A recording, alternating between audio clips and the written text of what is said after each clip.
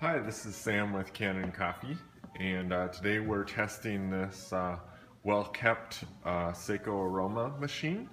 Uh, it's it's really in good condition for a machine that's three years old. Um, so the customer has clearly been taking great care of it. So I'm going to pour a shot.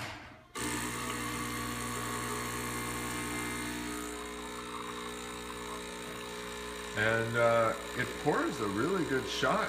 Um, and we can't find any problems with this machine. So um, the customer reported that um, there's just a slow flow of espresso coming out. Um, maybe something got shooken, shaken loose when she brought it to us or something like that, but um, we've tested it several times and uh, just don't see any problems. Um, thank you for uh, bringing your machine to Kanen Coffee.